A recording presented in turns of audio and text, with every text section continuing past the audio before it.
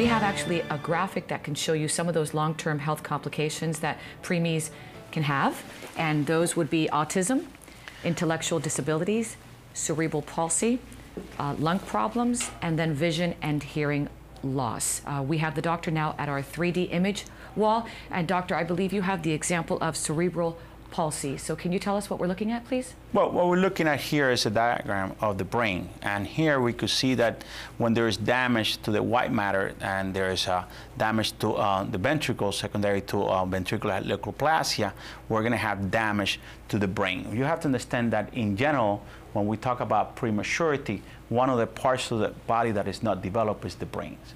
The brain and the lungs tend to develop later in life, so the earlier the baby is, the higher the chances of having damage to any part of the brain.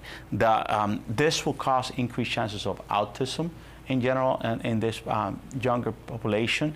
There's increased chances of cerebral palsy as well as lung conditions. We have known, we have improved a lot of things in neonatal um, intensive care units to uh, decrease mortality but the quality of life it does get affected significant by, to these children secondary to the conditions that affect mainly the brain and the lungs.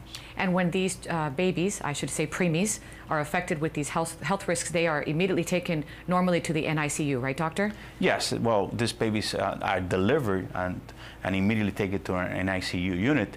Now, these conditions or the damage is not going to be something that we're going to be able to tell right away. Mm -hmm. And uh, needless to say that there is a very small premature babies who do very well, and unfortunately, but the majority of them do tend to have some sequels uh, in long-term life.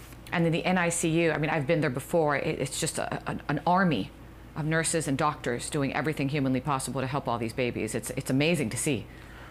Well, I think that in general in obstetric, one of the things that we have advanced over the years is the development of the NICU and how well we're able to treat these babies now mm -hmm. as mm-hmm. opposed to many years ago. And that's one of the big things that we have in this country as opposed to other countries on the developing the world.